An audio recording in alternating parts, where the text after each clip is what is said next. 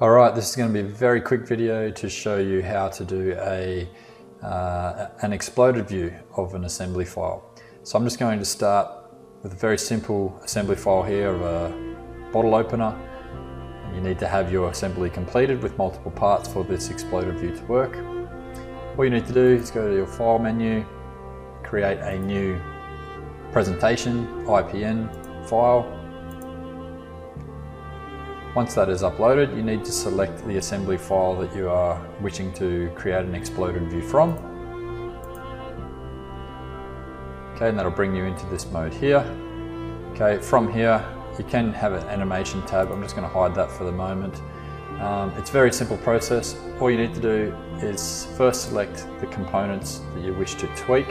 So by tweaking components, I'm just going to select this first pin here and then just going to drag that away from the assembly. I'm going to click OK, or green tick for yes. I'm going to tweak my next component, which will be my rivet on this side, and move it away.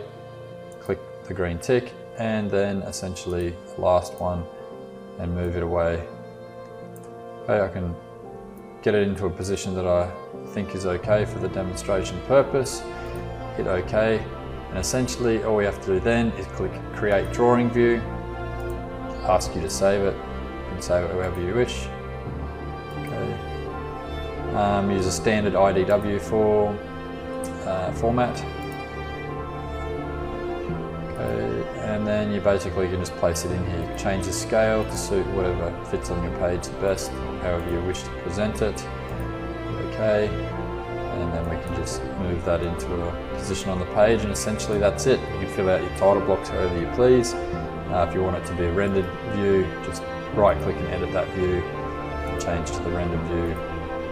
Okay, and that's basic, a very simple way of uh, creating an exploded view. If we were to go back okay, and have a look at this animation page, uh, whilst we're actually doing that, what was essentially happening was an animation was being created as well. So this is another way you can create animations in Autodesk Inventor without having to go into the studio mode. So essentially if you hit the play button, it, it just records the uh, exploded view functions as I went through. So that's a little added extra bonus for the video.